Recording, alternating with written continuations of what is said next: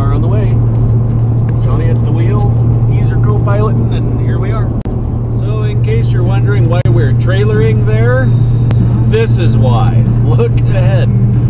It's like nothing but straight road. How long is this straight for? Uh, six weeks. Six weeks? Yeah, that's about right. Besides, who would ride Traffic's real bad here. Yeah, every 15 minutes.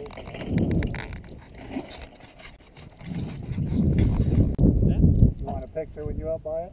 No, I just got to bring back up. above that.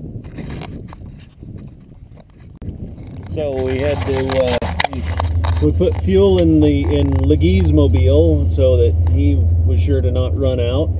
Day one, touchdown in Lakeview about four o'clock. Now it's five o'clock. We've had a beer and got settled into our rooms and and uh, we're ready to find us some meskin since we're close to the border. It ought to be not horrible. They're all three Huskies. Uh, Yep. They're all six tens. Uh, the only difference is this has got the off-road tires.